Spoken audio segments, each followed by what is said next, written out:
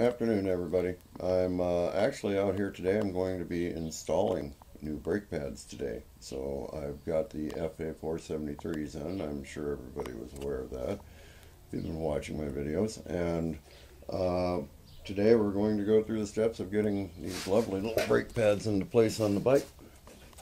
Here they are all ready to go. In the next few minutes I'll be gathering tools, uh, setting up my shop, and most importantly, it's time to get this bad boy in the air. We only need to raise the rear and you're going to learn about the easiest way to jack up a uh, Spyder that I know of. I'll be backing it onto an auto ramp and just using a simple safety um, chock, if you will, or you know the the stands with the screw stand, and we're going to uh, go ahead and you know set that up so I can get the ramp out of the way and just have all free clearance to do whatever I need to do. So it's really not necessary to pull the ramp. Mostly I just don't want to be bending down and sitting on the floor today. So next the trike goes in the air. After I do that and set up tools, I'll be visiting with you briefly. We'll take it from there. Thanks for watching. Have a great day. Peace.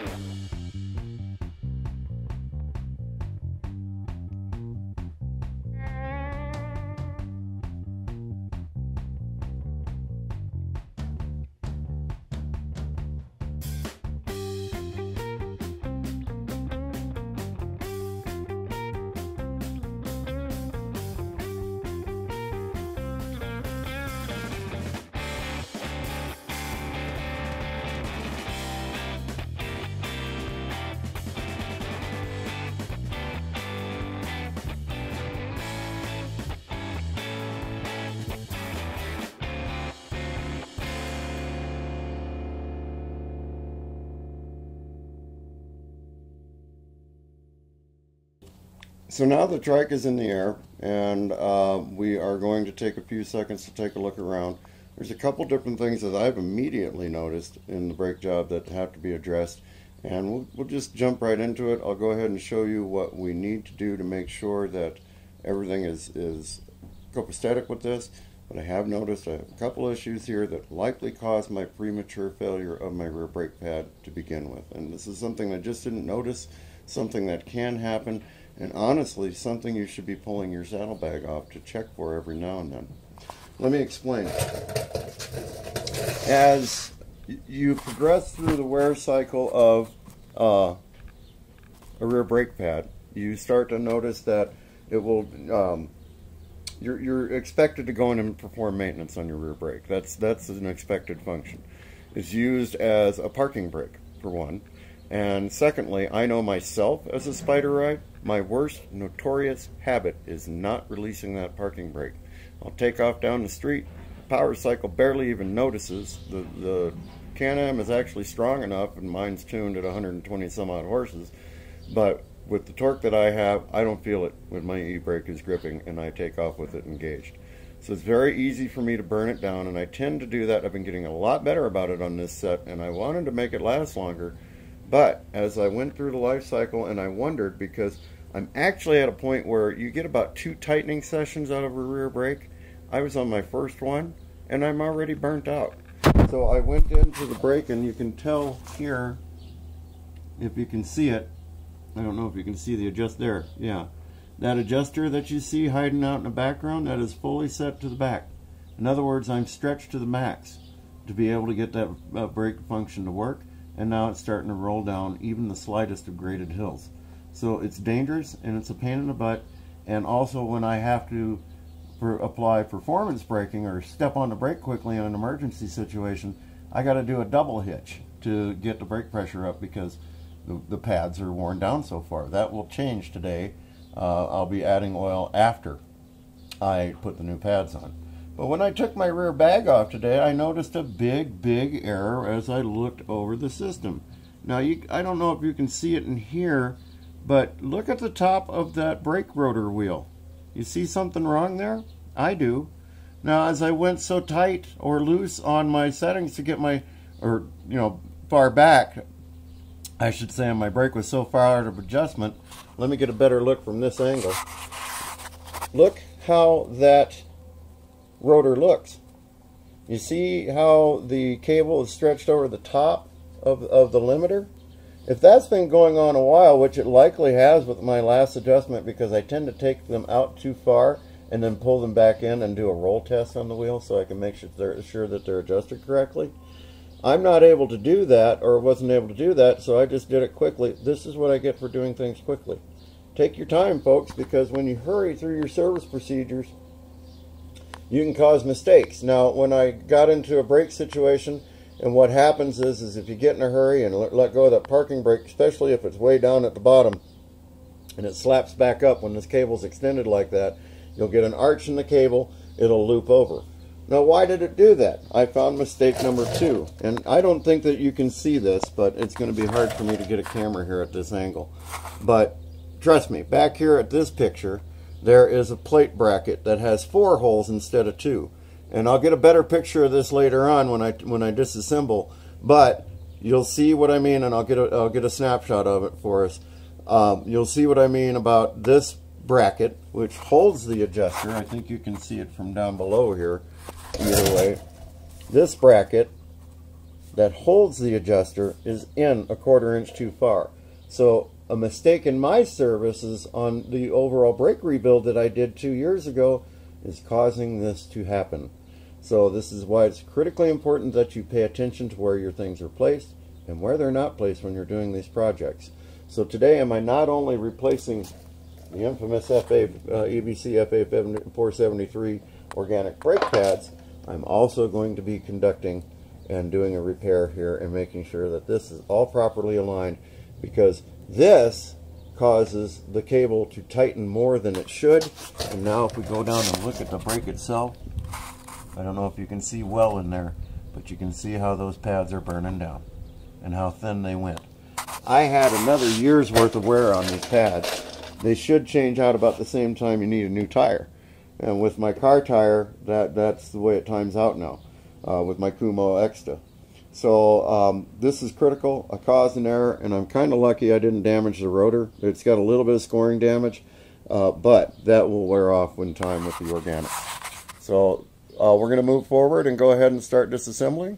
And thanks for watching, and I, bear with me. I'll be doing this in stages so you kind of get a idea of what we're looking at, so on and so forth. So uh, anyway. Um, I hope you enjoy this this bit, bit of a long one, but it'll be time warping the most of it. But I wanted a chance to explain the importance of inspecting your work, even when you complete a, a position. And I did not do this or complete a job. You should take a break, go drink a cup of coffee, come back out, and reinspect the work before you release it for the road. That's just good general advice for anybody doing services. It's how I maintain quality control in my own shop when I have my own place. My mechanics hated me for doing it, but hey, I didn't get objects returned. Anyway, uh, we'll go from there. Uh, from here, we're going to be removing this, the outer disc, then the bracket, then there's two bolts that have to be loosened and removed. And as we drop that, we drop in the new pads and lift up, readjust, away we go.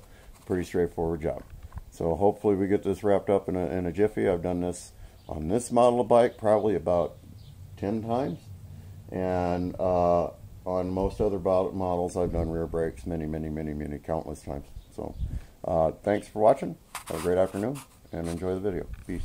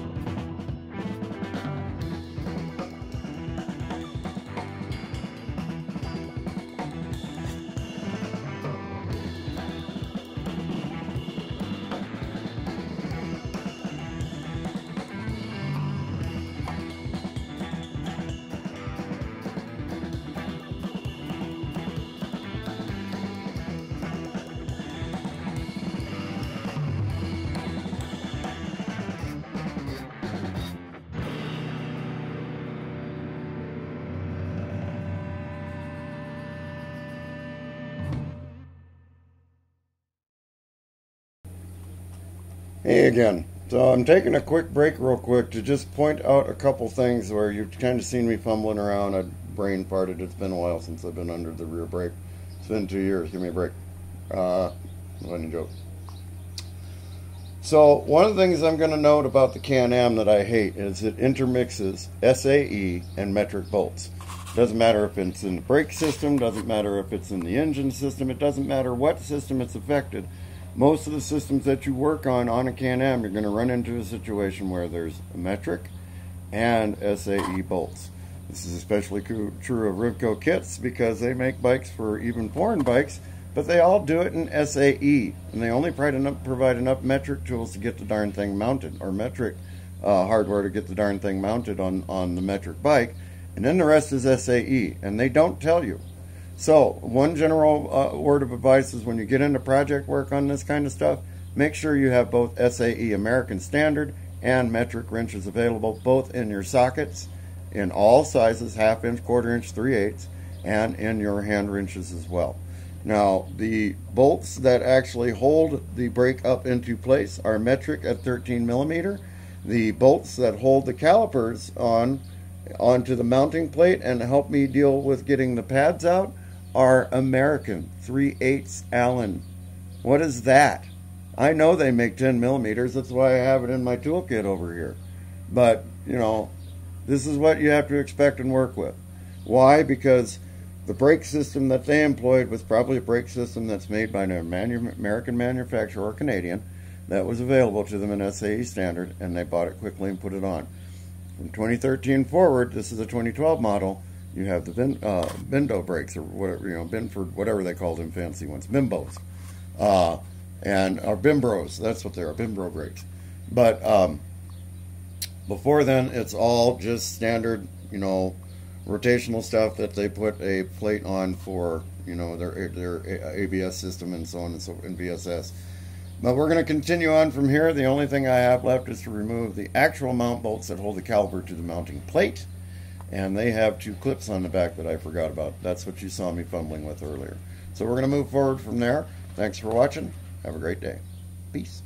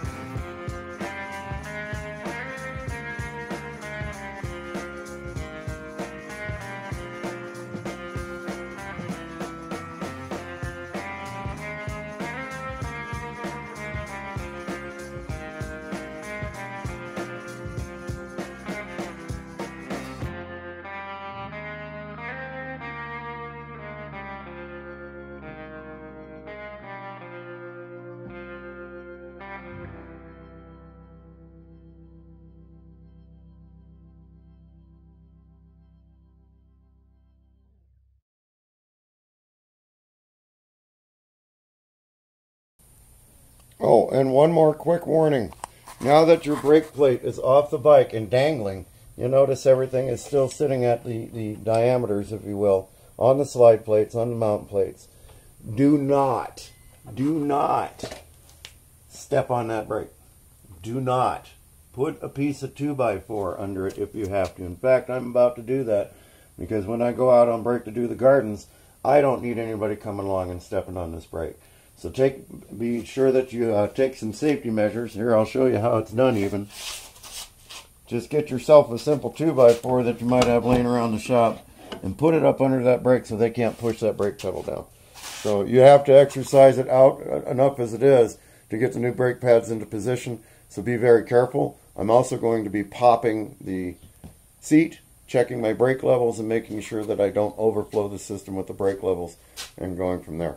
So thanks for watching, folks. I don't know why this camera is focusing on the outside light so much, but it sure seems to be satisfied on it, and it's getting driving me crazy. It's supposed to be in selfie mode, so uh, and it's quit. But anyway, um, again, do not, do not, do do not, not, not step on that brake pedal when you're servicing the rear brake. Make sure you put an object under there that can wedge it up, so children that come along or whatever's in your shop circumstance don't ruin your day. If they step on that, they've just made it that much harder for you. We'll uh, talk to you later in peace.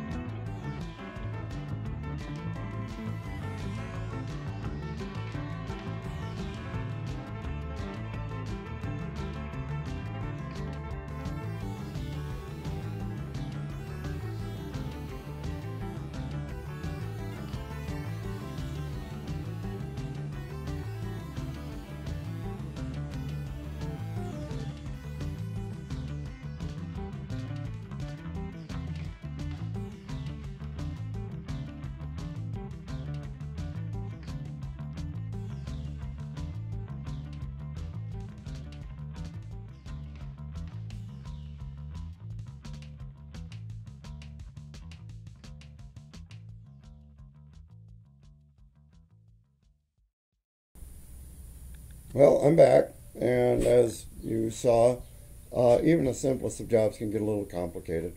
Now, there's a couple things to note. I have done about three rebuilds on this machine on the back, or replaced three pads, one full rebuild. Now, there are the screws that hold the mount in place. They come from the factory with this incredible bonding material on it, and it as it heats, it re-sticks kind of thing. So I ended up uh, getting the mount back on for the emergency brake and tightened, but not to specs because they use Torx screws and uh, they stripped out. So what I'm going to have to do is I'll order a caliper. It's fine with the, the tension that I that has on it for now, especially with the bolt with the uh, thread seal that they have on those bolts. I'll be just fine, and of course it's my emergency brake, so I'll be able to monitor that.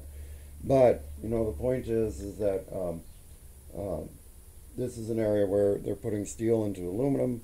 They're using the wrong type of things, that kind of stuff. And this was part of the first year releases issues that you run into.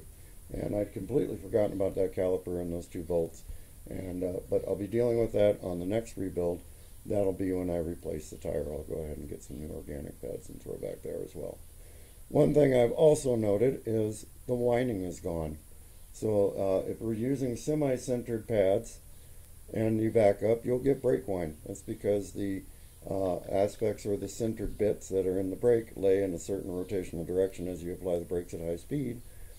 And when you go in reverse, they kind of pop out a little bit and whine against the brake. But now that I have the organic brakes done, no more whining. So, big advantage. Thanks for watching, and uh, wish it had gone a little better. This one's a longer video, but I've got a couple shorts coming up today as well. Peace.